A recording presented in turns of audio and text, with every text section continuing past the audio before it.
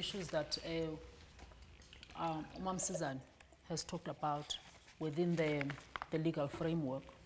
I'm going to quickly map out um, a few pieces of legislation um, enacted or in the process of being enacted so that we can have a better um, understanding of what, what is going on and that we don't see these um, experiences as isolated um, experiences of a, a non-caring or a cruel chief out there. Mm. Um, to a casual observer, um, it's very difficult to actually get a fuller understanding of what this basket of laws means. It's also very difficult um, to a casual, casual observer to understand the significance of the, Ngonyama, the King Zwelithini's claim, um, the standing of the Ngonyama Trust and the vast tracts of property they have, or property that is claimed to be belonging to the Hakabis um, in the Eastern Cape and so on. Also to a casual South African observer, these issues seem like you know issues to do with culture and to deal with custom, and therefore we don't get there because you know it doesn't apply to us. Um, and this has been, I think, the the most important weapon that government has had for over a decade. Um, that it has relied on this notion of othered people that are out there in rural communities who are actually living according to their culture and custom, and, and therefore you can't really be bothered by that.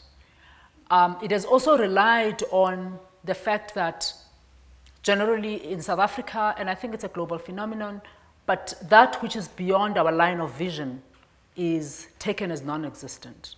That is a result of apartheid spatial geography, but is also as a result of um, a, an urban preoccupation um, with our politics, with our society, and, and so on. So in some ways, the apartheid structural um, engineering that put the majority of people in the so-called reserved, in the Bantustans, has actually worked very effectively because it has erased them, continuously erased their humanity, their being, their complexity from mainstream consciousness in society. Um, the, the Constitution, of course, as we know, um, is our point of departure in terms of approach to land, in terms of approach to custom, citizenship, and, and all these issues. So the Constitution affirms the right to custom, customary law, customary systems, and people's chosen cultural identity and, and religion. It is in the Constitution. Um, but the Constitution also says that all these can be exercised subject to equality clause. Subject to equality, you can practice your culture, your religion, subject to the Constitution, which is the supreme law of the land. Chapter 12 of the Constitution, taking further uh, this recognition in the Bill of Rights, in the Constitution, um, pays attention to a particular important issue in our society, which is the recognition of traditional leadership. And it, it makes it very clear that traditional leaders have got to be recognized, their role has got to be affirmed in society, and calls, of course, as, as many sections of the Constitution, for any legislation that needs to be enacted to facilitate this to be enacted. Now, just quickly to map out, therefore, what has happened. One of the important um, legacies of colonialism and colonial conquest is that the, the logic of colonizers becomes the natural logic that people as, you know, assume applies to them. And this is very much the case in terms of the approach to traditional leadership and the approach to custom and customary law and customary systems. It is always very fascinating to me when I hear people talk about and going and prepare to have families prepare, prepare to have a fallout about the process of mourning and that uzilile, you must wear black clothes, it is our culture and it is our tradition. And you kind of, you know, you step back and you say, but when did it become your tradition? Ah, since the time immemorial, you know. And, and in fact, and you say to people, well, actually, um, it was Queen Victoria who, when her husband died, decided to withdraw from society and decided that she wanted no embellishment in her body. She wanted nothing. She was very sad. And, and that's where this thing is. That's what this custom of yours has become. And, and people look at you and they think, you know, you, you are mad, you're making this up. Um, when Mamsizani talks about the issues of, inher of inheritance and talks about the fact that her mother could not inherit because um, she didn't have a male heir, you know, in KZN, in Eastern Cape and everywhere else where I come, uh, where, where, where, you know, places where you are familiar with, people accept this notion of male uh, primogeniture as if it is our culture. This notion of the male head of household, it is our culture, it is who we are. And when you step back and you say, well, actually, the notion of a single head of household, male or female, actually came with British colonialism.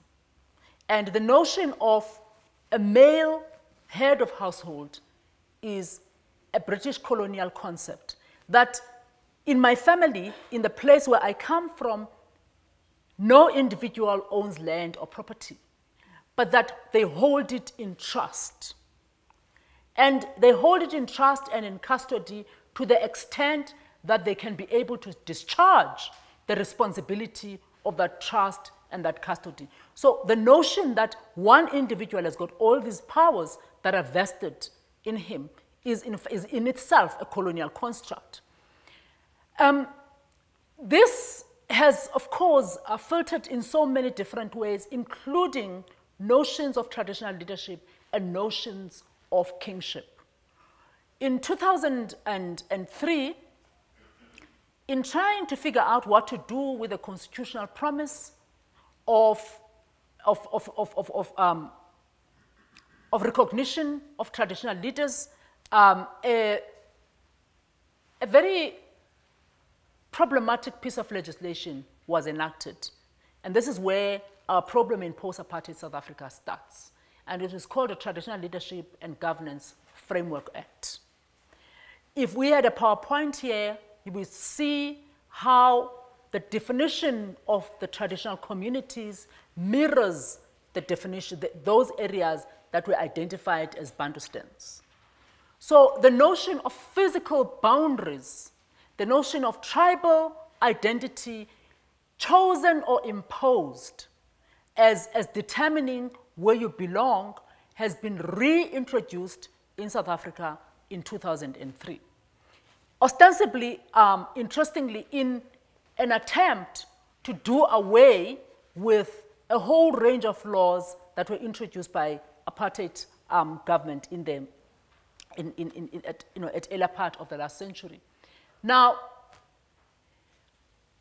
the traditional, the, the traditional, local, the traditional Leadership and Governance Framework Act of 2003, TLGFA of 2003, was very, very difficult to challenge because it seemed as if you know, they were just marking territory and we were not sure what powers really would be um, in real sense.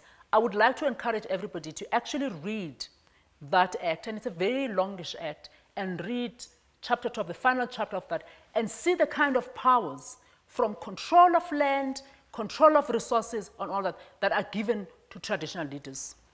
The second um, legacy that we see uh, is also this notion of standardization of customary law.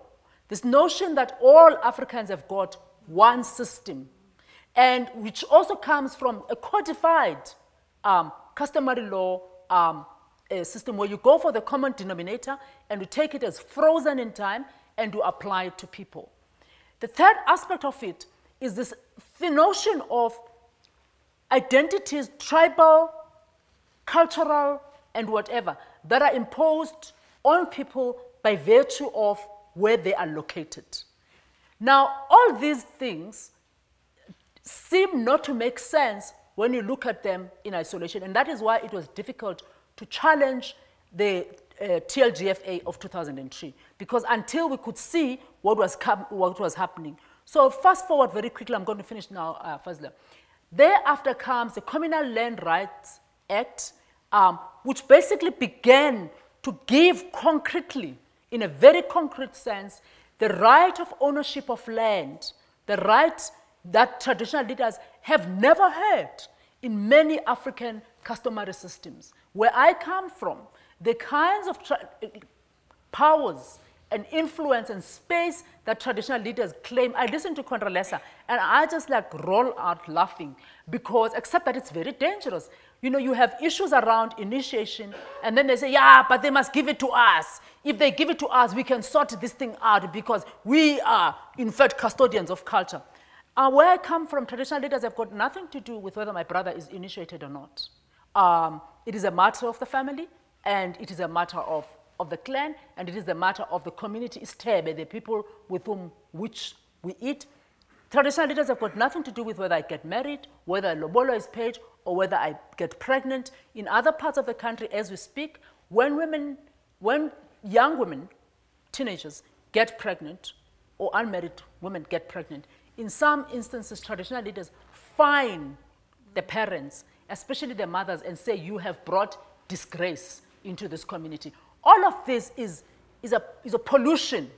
And, and I have a bit of a problem in talking about pollution because when one talks about pollution, there's an assumption that there was something pure in the first place. Now, finally, we can, I can trace a whole range of laws. Uh, 2010, the Communal Land Rights Act was struck down because it gave so much power to traditional leaders. And in fact, it was seen as unconstitutional. However, the Constitutional Court um, did not go into the substantive debates about what it was. So it was struck um, on technical grounds. Nevertheless, if it, if, you know, if it came to substantive issues, it still would not pass. Um, building on the system, and the system has been, so first you, you, you mark out territory, and you say, Nina Ningabatswana, this is where you belong, and that is where you are stuck, and this is the, these are your rigid apartheid bound, these are your rigid cultural boundaries, which in fact are exactly as the apartheid boundaries. And these are your chiefs, these are the people that you account to. Then you, it, we come to a second layer. The second layer says, yeah, but now traditional leadership, you know, is, is actually very able to lobby government in this country for a whole range of reasons, and we can go into that. And then they come in and they say, yeah, but now you, give, you gave us this thing and you know the uh, local uh, government undermines us and we don't really have control over our land. Of course, you can have a conversation about when, when did you actually have control in the first place. But nevertheless, so the Communal Land Rights Act comes, the Traditional Courts Bill comes, and which basically says that you will also be responsible for administering justice in this area. You will develop customary law according to custom. You will um, ensure that there are all these powers. Again, I encourage people to go and read that and see the kind of powers that they have. And it is very easy for us to say, yeah, but justice is not accept, uh, accessible to people in rural communities. Therefore, maybe traditional courts should be allowed. We can have a conversation about that. Now, finally, the, the, the piece of legislation, and I'll take only two minutes, that I want to come to is the amendment of the Land, Land Restitution Rights Act that was signed by President Zuma last year, I mean, the, early this year. We saw President Zuma um, in February addressing the National House of Traditional Leaders, and as he always does, our dear president diverted from his written speech and said to traditional leaders, I encourage you to put together the best resources that you can come up with. Get the best lawyers that you can have so that you can put in claims for people, for your people. So we have, as a result, yes, it is the president who actually encouraged this. Um, so we have, as a result, these huge claims. Now we look at King Zwelithini's claim, um, we look at the Gagabe claim in the Eastern Cape, they claim from Middle Drift right up to the Cape, together with a group of, um, of, of, of, of, of, the Khoi and the San. We also have another claim in KZN, in another part of KZN, which also includes a group of the Khoi and the San, and so on. So you have this parceling of out of land. Now, the interesting thing that I want to leave you with is that all these claims predate 19, uh, go into an era that predates 1913. And then you have to ask yourself, but why is, why are these people bold to go and why is King Zwelithini um, actually making claims that go as far as 1835? Because, and you think, well, I mean, this is foolhardy because the constitution remains, are they going to change the constitution? Actually, they are not going to change the constitution. Um, it has taken me a long time to try and figure this out. They are going to get this land on the basis of heritage. So it means that if I, as the child of the Kusana clan, had land somewhere that also is as important to me as all these vast tracts of land that are being claimed, but I probably will not be able to fulfill the requirement that says it is in the interest of the heritage of anybody uh, beyond myself. And what it does is that it gives us an idea of how property and how land is going to be accumulated by a few in the name of land resti uh, uh, uh restitution. We can discuss later other reasons um, for this. Suffice to say that the land claims also take place at a time when the geographical location of wealth, especially the extractive wealth and minerals in this country is changing. It is no longer what was traditionally called, what was called South Africa in the apartheid period. It is in what was called the Bantustans.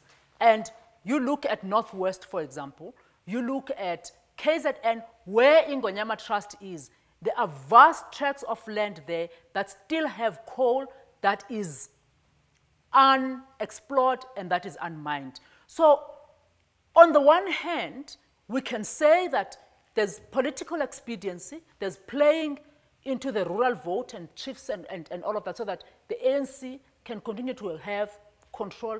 But actually, even that would be a very limited understanding. An understanding of what King Zwelithini's claim, what the Gagabe claim, what um, the, the Tembu claim to some extent, yeah, well, the Tembu claim because they're going to have a fight about how far his land goes.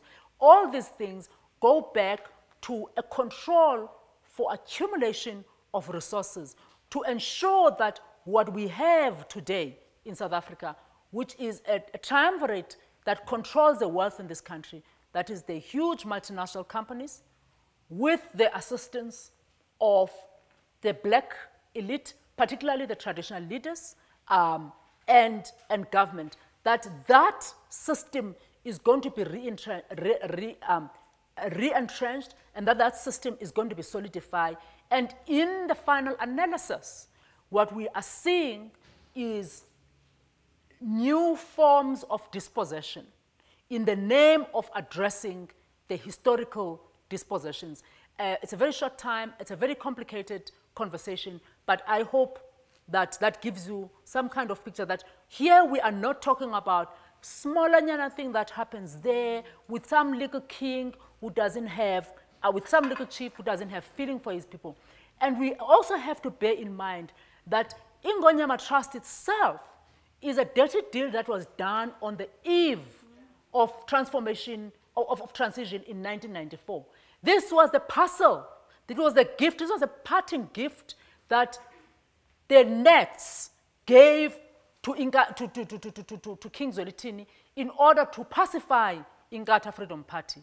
And everybody, including the ANC, thought that this was some small thing, you know, give them that little bit there and they'll keep quiet. And the little bit has become a monster. And it is a monster that is very difficult to actually control.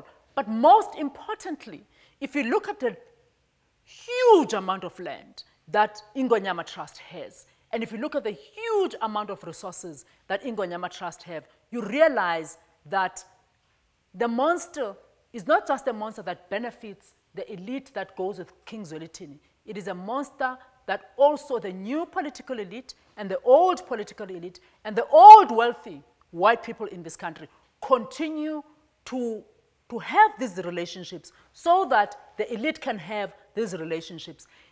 It is going to be at the expense of the rights of people. It is going to be at the expense of the citizenship of people.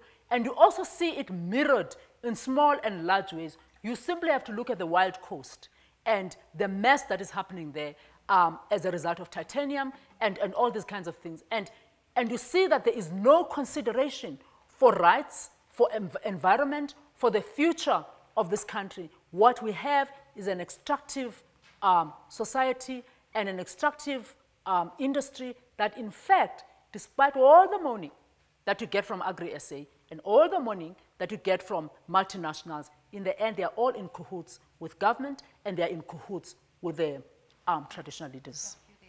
Thanks very much.